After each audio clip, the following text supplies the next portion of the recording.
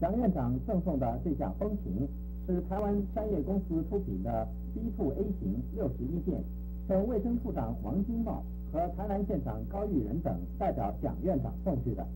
以供住在那里的乌角病患者调剂身心之用。台南县北门乡乌角病防治中心是全省唯一的乌角病诊疗所，里面住了好几十名患者，生活非常枯燥。蒋院长在本月十九号前往巡视以后，决定赠送风琴一架。乌角病患者对蒋院长的得意都非常感激。